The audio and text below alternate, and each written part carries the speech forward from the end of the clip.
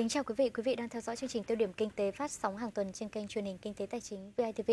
Thưa quý vị, cùng với lực đẩy của tăng trưởng kinh tế 2017 thì tăng trưởng GDP quý 1 năm nay có bứt phá mạnh mẽ nhất là trong 10 năm qua với mức tăng là 7,38%.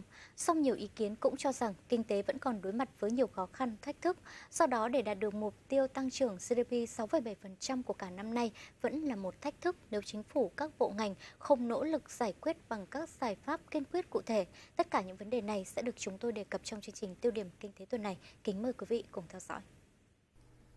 Tổng cục Thống kê Bộ Kế hoạch và Đầu tư vừa công bố báo cáo về tình hình kinh tế xã hội quý 1 năm 2018. Cụ thể, tổng sản phẩm trong nước GDP quý 1 năm 2018 đã đạt mức tăng 7,38%, mức cao nhất của quý 1 trong 10 năm gần đây. Trong đó, khu vực nông lâm nghiệp và thủy sản tăng 4,05%, đóng góp 0,46 điểm phần trăm, khu vực công nghiệp và xây dựng tăng 9,70%, đóng góp 3,39 điểm phần trăm. Khu vực dịch vụ tăng 6,70%, đóng góp 2,75 điểm phần trăm. Trong 3 tháng đầu năm 2018, số doanh nghiệp thành lập mới là 26.785 doanh nghiệp, cao nhất 7 năm gần đây, với số vốn đăng ký là hơn 287.000 tỷ đồng, tăng 1,2% về số doanh nghiệp và tăng 2,7% về số vốn đăng ký so với cùng kỳ năm 2017. Về kim ngạch nhập khẩu cũng có nhiều tín hiệu tích cực. Kim ngạch hàng hóa xuất khẩu quý 1 năm 2018 ước tính đạt 54,31 tỷ đô la Mỹ, tăng 22% so với cùng kỳ năm trước. Ngược lại, kim ngạch hàng hóa nhập khẩu quý 1 năm 2018 ước tính đạt 53,01 tỷ đô la Mỹ, tăng 13,6% so với cùng kỳ năm trước. Như vậy, cán cân thương mại hàng hóa tính chung trong quý 1 năm 2018 xuất siêu 1,3 tỷ đô la Mỹ, Đầu tư trực tiếp của nước ngoài từ đầu năm đến thời điểm ngày 20 tháng 3 năm 2018 thu hút 618 dự án cấp phép mới với số vốn đăng ký đạt 2,121 tỷ đô la Mỹ, tăng 25,4% về số dự án và giảm 27,3% về số vốn đăng ký so với cùng kỳ năm 2017. Trong quý 1 năm 2018, khách quốc tế đến nước ta ước tính đạt 4,2 triệu lượt người, tăng 30,9% so với cùng kỳ năm trước. Ngoài ra, lạm phát trong quý 1 đầu năm được kiểm soát hợp lý ở mức tăng 2,82%. Thưa quý vị, thông thường chỉ số tăng trưởng kinh tế GDP của quý 1 đều thấp hơn nhiều so với các quý còn lại trong năm. Tuy nhiên thì với mức tăng 7,38%, tăng trưởng GDP quý 1 năm nay là mức cao nhất trong 10 năm trở lại đây. Vậy động lực nào đã đóng góp cho tăng trưởng trong quý đầu tiên của năm? Mời quý vị cùng theo dõi tiếp ghi nhận ngay sau đây. Ngay từ đầu năm, hàng ngàn lao động của doanh nghiệp dệt may này đã bắt tay ngay vào công việc. Do đó, kết thúc quý 1 năm 2018, hoạt động kinh doanh của doanh nghiệp đạt kết quả tốt. Thị trường ờ, dệt may rất là khởi sắc. Từ đầu năm thì lượng đơn hàng rất là nhiều và công ty đặt mục tiêu là doanh thu sẽ tăng trưởng 10 10 đến 15%. Sự vào cuộc ngay từ những ngày đầu năm của các doanh nghiệp đã thể hiện ở kết quả đáng chú ý khi kinh tế quý 1 năm 2018 duy trì được đà tăng trưởng tích cực của năm trước Đáng chú ý, trong khu vực công nghiệp và xây dựng, ngành công nghiệp tăng 10,08% so với cùng kỳ năm trước, đóng góp 3,01 điểm phần trăm vào mức tăng chung. Điểm sáng của khu vực này là sự tăng trưởng mạnh mẽ của ngành công nghiệp chế biến chế tạo với mức tăng 13,56%, mức tăng cao nhất trong 7 năm gần đây. Và đóng góp chính cho tăng trưởng ngành chế biến chế tạo của năm 2000, quý 1 năm 2018 là có nhiều ngành, trong đó chủ yếu là ngành 26 là ngành sản xuất chế biến các sản phẩm điện tử và linh kiện.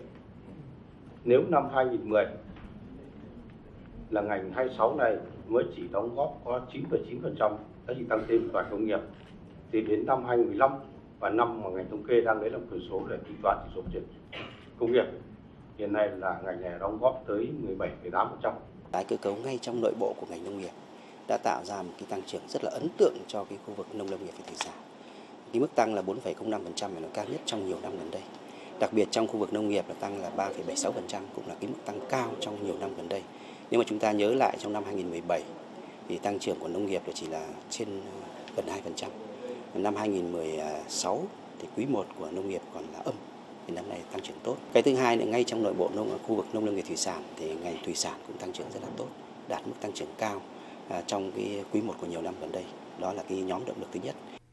Ngoài ra, giải thích cho mức tăng GDP quý 1 cao nhất trong 10 năm trở lại đây, các chuyên gia cũng cho rằng ngay từ đầu năm chính phủ đã ban hành nghị quyết số 01 ngày 1 tháng 1 năm 2018 về nhiệm vụ giải pháp chủ yếu thực hiện kế hoạch phát triển kinh tế xã hội và dự toán ngân sách nhà nước năm 2018 với các mục tiêu và nhiệm vụ cụ thể giao cho các bộ ngành và địa phương xây dựng chương trình hành động và kế hoạch thực hiện. Nhờ đó, tình hình kinh tế xã hội tiếp tục có chuyển biến tích cực. Động lực tăng trưởng năm nay đó là à, kết quả của cái nhà nước kiến tạo và kết quả của phương châm à, 10 chữ của chính phủ thực hiện trong năm nay đó là liêm chính, đó là hành động, đó là sáng tạo thì đã tạo cho toàn bộ nền kinh tế à, bắt tay vào hoạt động sản xuất kinh doanh có hiệu quả ngay từ những ngày đầu tháng đầu của năm nay. Quý 1 tăng trưởng thường thấp nhất trong cả năm vì nhiều vấn đề quy luật kinh tế, thị trường, song phần nhiều vì quan niệm tháng riêng là tháng ăn chơi khi dịp Tết Nguyên đán nằm trong thời gian này. Nhưng ngay từ đầu năm, chính phủ đã quán triệt tinh thần nỗ lực ngay từ những ngày đầu, bắt tay ngay vào việc ngày sau Tết. Tinh thần này đã góp phần nâng cao ý thức của từng cơ quan, bộ ngành, doanh nghiệp trong nỗ lực tăng trưởng chung của nền kinh tế. Bên cạnh những thuận lợi thì kinh tế quý 1 vẫn đối mặt với nhiều khó khăn, nhiều vấn đề còn tồn tại là thách thức lớn cho nền kinh tế. Doanh nghiệp vẫn còn khó khăn với chất lượng nhân lực, một số thủ tục vẫn còn dườm già phức tạp, gây khó khăn cho doanh nghiệp, làm cho doanh nghiệp tốn kém nhiều thời gian và chi phí. Khó khăn đầu tiên phải kể đến trong quý đầu năm của kinh tế Việt Nam là các doanh nghiệp xuất khẩu đang lao đao với biện pháp bảo hộ mậu dịch từ các nước. Điển hình các biện pháp bảo hộ mậu dịch đang diễn ra liên tiếp và ngày càng gia tăng từ chính phủ Hoa Kỳ – một trong những thị trường xuất khẩu lớn nhất của Việt Nam.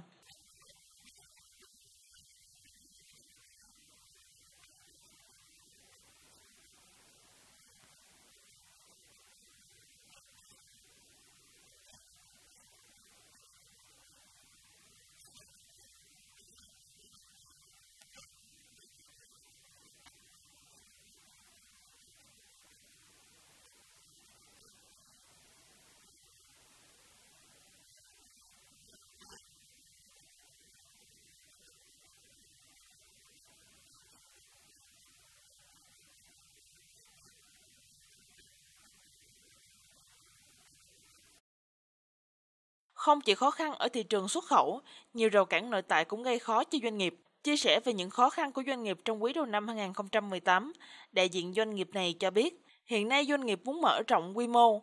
Tuy nhiên, một trong những khó khăn là tìm được nguồn nhân lực chất lượng cao đáp ứng nhu cầu doanh nghiệp. Cái khó khăn là rất là lớn của Vietlove Travel đó là ờ, uh, Vietlove Travel không e ngại về khó khăn về cái nguồn nguồn khách cũng như những dịch vụ của mình À, cung cấp gửi đến cho khách hàng.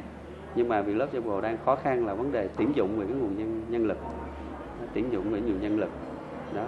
Bởi vì à, tìm được một cái cái người cái em mà mà biết được việc để, để điều hành một cái tour thì, thì cực kỳ cực kỳ khó khó khăn. Đó. vấn đề là khó khăn lớn nhất hầu như là đa số những doanh nghiệp khi gặp phải đó là họ gặp về vấn đề là nguồn nguồn nhân lực là là chủ yếu.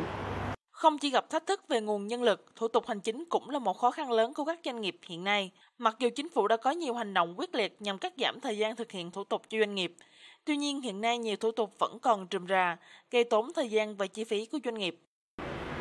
Cái à, cái khó khăn mà theo tôi thấy trong cái môi trường kinh doanh của của ngành du lịch hiện nay á là bên sở là có hàng tháng có gửi thông báo về cho chúng tôi là báo cáo báo cáo hàng tháng. Bởi vì với một mỗi mỗi tháng mình phải báo cáo một lần. À, ngoài ra thì mình phải tập trung cho việc kinh doanh mình hội họp với công ty mình nữa tập trung báo cáo. Thì khi báo cáo là mình phải thống kê tổng hợp lại các cái số liệu nguồn khách của của công ty để mà báo cáo về về sở. Cho nên là cái này mà báo cáo hàng tháng cũng thấy cũng tương đối là khó khăn của của doanh nghiệp theo các chuyên gia, hiện nay hàng loạt mức phí đang bổ vay doanh nghiệp, làm kéo trì sức bật của doanh nghiệp. Về tổng thể thì chúng tôi thấy rằng là những cái hành động cụ thể để giảm phí ờ, cho doanh nghiệp ờ, cũng đang còn rất ít ỏi. Nếu mà so với những xu hướng tăng nhanh của hàng loạt những cái chi phí khác, phí hạ tầng cảng biển ở Hải Phòng và chúng tôi lo ngại sẽ thu ở nhiều lĩnh vực khác, ờ, phí BOT mà chúng ta thấy qua báo chí gần đây rồi là phí ờ, logistics của Việt Nam vẫn là cao, phí giao nhận kho vận của Việt Nam cũng là cao so với các nước trên thế giới. Phí công đoàn, phí ờ, bảo hiểm, cái tỷ lệ này ở Việt Nam so với khu vực thì cao gấp đôi. Chẳng như tỷ lệ trên tổng quỹ lương của Việt Nam là 32,4,5%. Nếu mà tính thêm phí công đoàn 2% nữa là 34,5% tổng quỹ lương. So với các nước chỉ khoảng 9, 12% thì ở đây là cái mức ờ, rất là cao. Một vấn đề mà các chuyên gia cũng tiếp tục quan ngại trong quý đầu năm là tăng trưởng vẫn chưa dựa vào các doanh nghiệp nội địa mà vẫn phụ thuộc vào các doanh nghiệp đầu tư nước ngoài. Dù kinh tế còn đối mặt với nhiều khó khăn thách thức, song tại phiên họp thường kỳ chính phủ tháng 3 vừa qua, Thủ tướng Chính phủ Nguyễn Xuân Phúc đã thể hiện rõ quyết tâm đạt mức tăng trưởng thấp nhất là 6,7%, cố gắng đạt cao hơn để tạo đà cho năm 2019 và các năm tiếp theo. Thủ tướng nhấn mạnh đây là một bài toán khó, không dễ giải nhưng buộc phải hoàn thành. Tại phiên họp báo chính phủ thường kỳ tháng 3 năm 2018, Bộ trưởng chủ nhiệm văn phòng chính phủ Mai Tiến Dũng cho biết, chính phủ thống nhất mục tiêu phấn đấu đạt tối thiểu là 6,7% và cố gắng đạt cao hơn để tạo đà cho năm 2019 và các năm tiếp theo. Do đó, chính phủ yêu cầu các bộ ngành địa phương tuyệt đối không được hài lòng, tự mãn với những kết quả đã đạt được mà cần phải kiên trì, khẩn trương thực hiện hiệu quả các giải pháp tại nghị quyết số 01, đề xuất giải pháp phù hợp với những kịch bản diễn biến mới. Như vậy, cái nghị quyết 01 là gồm 242 nhiệm vụ giao cho các bộ ngành địa phương. Ở chỉ thị 240 của Thủ tướng là ban hành thì có gắn với 13 cái nhiệm vụ. Đặc biệt là tới đây sẽ sẽ sẽ nhiều các hội nghị mang tầm quốc gia. Vừa qua thì Thủ tướng và Phó Thủ tướng cũng đã chủ trì hội nghị về về về phòng chống thiên tai. Thế và tới đây sẽ tổ chức nhiều sự kiện ngay cả vấn đề hội nghị logistics rồi ngay cả vấn đề thu hút doanh nghiệp và nông nghiệp ngay cả vấn đề tích tụ dụng đất rồi ngay cả vấn đề thương mại điện tử rồi ngay cả vấn đề về tháo gỡ khó khăn trong đầu tư xây dựng thì được xử lý từng vấn đề Bộ trưởng chủ nhiệm Văn phòng Chính phủ cho biết, Chính phủ sẽ tiếp tục coi công tác xây dựng, hoàn thiện thể chế pháp luật, cải cách hành chính, cải thiện môi trường kinh doanh là ưu tiên hàng đầu trong năm 2018 và các năm tiếp theo. Thủ tướng cũng đưa ra rất nhiều những cái cái nhóm giải pháp để tập trung cho chỉ đạo điều hành. Đó là giao cho các bộ trưởng, giao cho các ờ, chủ tịch các tỉnh thành phố, ờ, lãnh đạo các tập đoàn, tổng ty nhà nước yêu cầu các cơ quan là phải xây dựng được cái, cái kế hoạch tổ chức thực hiện cái kịch bản của ngay bộ địa phương mình, đơn vị mình thế và đưa ra những cái giải pháp quyết liệt. Vấn đề cải cách ờ, vấn đề đổi mới. Rồi ngay cả vấn đề liên quan đến cái ờ, quản lý chặt chẽ đầu tư công, giảm chi phí thường xuyên. Và đặc biệt là tăng cường đối thoại các doanh nghiệp để giải quyết những vướng mắc khó khăn cho các doanh nghiệp liên quan đến tăng trưởng kinh tế quý 1 năm 2018. Trước đó, tại hội nghị thúc đẩy sản xuất và tăng trưởng kinh tế, Phó Thủ tướng Chính phủ Trịnh Đình Dũng chỉ ra những điểm nghẽn đối với phát triển cần tập trung khắc phục, hạn chế như kết cấu hạ tầng hay những rủi ro thị trường như chi phí đầu vào tăng cao, các rào cản thuế quan, thương mại, hàng rào kỹ thuật ngày càng gây khó khăn, cạnh tranh ngày càng lớn, tác động trực tiếp đến sản xuất kinh doanh của doanh nghiệp. Thì tôi đề nghị các bộ ngành địa phương thì chỉ đạo thực hiện quyết liệt đồng bộ nhiệm vụ giải pháp đã đề ra trong nghị quyết không một đây là cái sườn rất quan trọng của chúng ta cùng với chương trình hành động của các bộ ngành địa phương. Trong đó, trước hết là phải tập trung thực hiện tái cấu trúc lại nền kinh tế. Chính phủ nào của chính phủ? Bộ ngành nào của bộ ngành? Địa phương nào của địa phương? Và tái cấu trúc ở đây để căn cứ vào cái thị trường thị trường. Nhưng mà thị trường lên thị trường toàn cầu là mục tiêu để cạnh tranh phấn đấu coi trọng cái thị trường đó và tái sự cấu trúc đây được gắn với, phải gắn với việc ứng phó với thiên tai, ứng phó với biến đổi khí hậu. Phải gắn với ừ, các điều kiện thực tế của mỗi vùng, mỗi ngành, mỗi địa phương để có cái giai đoạn cấu của Bộ Kế hoạch và Đầu tư đã xây dựng hai kịch bản tăng trưởng kinh tế trong năm 2018. Kịch bản 1, tốc độ tăng trưởng GDP cả năm đạt 6,7% là mục tiêu tương đối khả thi. Kịch bản 2, tốc độ tăng trưởng GDP cả năm đạt 6,8%. Đây là kịch bản phấn đấu để các ngành, các cấp nỗ lực tận dụng mọi cơ hội trong điều kiện thuận lợi ở cả trong nước và quốc tế để thực hiện. Để đạt được cái mục tiêu này đó thì đòi hỏi chính phủ, các bộ ngành và cộng đồng sản xuất kinh doanh phải hết sức nỗ lực. Cái thứ hai nữa là cái tăng trưởng của chúng ta còn phụ thuộc vào cái nhu cầu ở bên ngoài rất lớn. Cái độ mở của nền kinh tế của Việt Nam của chúng ta là cao. Cái độ mở của nền kinh tế qua tính toán của năm 2017 là độ 200%. Của quý 1 này là trên 200%. Quý 1 nay chúng ta xuất siêu. Cho nên là cái ờ, tổng cầu của bên ngoài và cái nhu cầu bên ngoài mà chúng ta tận dụng được thì đây cũng là một động lực cho tăng trưởng cho nên cái mục tiêu 6,7 nó còn phụ thuộc vào cái động lực của nền kinh tế ở trong nước cũng như là cái tổng cầu của bên ngoài phụ thuộc vào yếu tố chỉ đạo điều hành đánh giá cao tinh thần chỉ đạo quyết liệt của chính phủ, nỗ lực đốc thúc sản xuất, điều hành của các bộ ngành địa phương và cộng đồng doanh nghiệp, nhiều tổ chức trong nước và quốc tế đều dự đoán nếu các chính sách từ phía cùng phát huy hiệu quả tích cực thì tăng trưởng kinh tế 2018 có thể đạt mức trên mục tiêu đề ra 6,7%.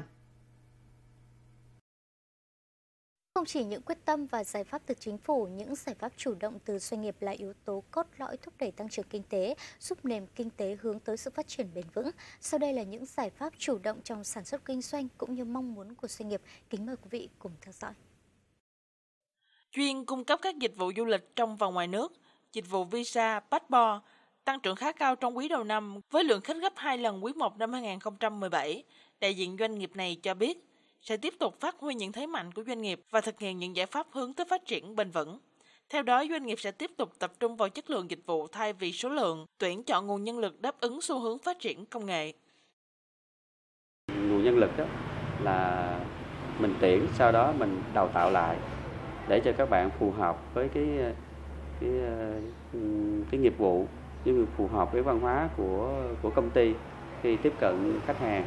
Đó còn à, những cái à, cái à, dịch vụ mà ừ, liên kết với các cái đối tác thì mình chọn lọc lại những cái đối tác mà họ họ có đội ngũ chuyên nghiệp. Rồi ví dụ như là khách sạn thì chúng tôi đến để mà khảo sát trực tiếp, để xem khách sạn đó cái chất lượng phòng ốc là có đảm bảo đúng tiêu chuẩn hay không, hay có xuống cấp hay không. Còn cái đội đội ngũ lễ tân, còn đội ngũ phục vụ có có đáp có đáp ứng khi mà khách hàng đến có vui vẻ hay không. Đó. và những nhà hàng thì chúng tôi cũng đến để khảo sát à, để xem kiểm tra cái chất lượng của của những bữa ăn đó nó có có đảm bảo hay không. Hướng tới phát triển bền vững là giải pháp đang được nhiều doanh nghiệp Việt thực hiện. Các doanh nghiệp nước ta hiện nay ngày càng nâng cao về chất lượng xem đây là yếu tố hàng đầu trong sản xuất kinh doanh. Điển hình vừa gia nhập thị trường hơn 2 năm Sản phẩm rau sạch hữu cơ là hướng phát triển của doanh nghiệp này. Mô hình trồng rau của doanh nghiệp hoàn toàn tự nhiên, không thuốc hóa học, thuốc trừ sâu và được giám sát bằng hệ thống camera. Không sử dụng phân bón và thuốc trừ sâu hóa học và kể cả thuốc trừ sâu sinh học ớt gừng tỏi gì không như các vườn khác vườn mình cũng không xịt luôn tức là theo hướng thuận tự nhiên tức là mùa nào trồng rau ấy à, vườn có hệ thống camera giám sát 24 trên 24 để khách hàng giám sát là vườn trồng như thế nào. Cái thứ hai là vườn có một số dụng cụ ờ, để trồng rau. Ờ, vườn ở đây không sử dụng phương pháp không lật đất để mà hạn chế cỏ cũng như là tránh xáo trộn đến hệ vi sinh trong đất. Không chỉ tập trung vào chất lượng sản phẩm, dịch vụ để tạo nên sức mạnh cho doanh nghiệp trong nước, việc liên kết cũng được các hiệp hội và hội doanh nghiệp cả nước đẩy mạnh.